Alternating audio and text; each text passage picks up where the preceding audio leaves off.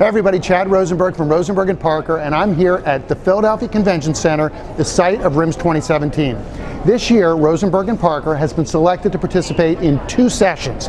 The first one will be done by my brother, and it's called Construction, a Complex Industry. And then I'm doing one called When You Build, Should You Bond. You will definitely want to go check both of them out, and also step by to see us at booth 1351. We'll see you in Philadelphia.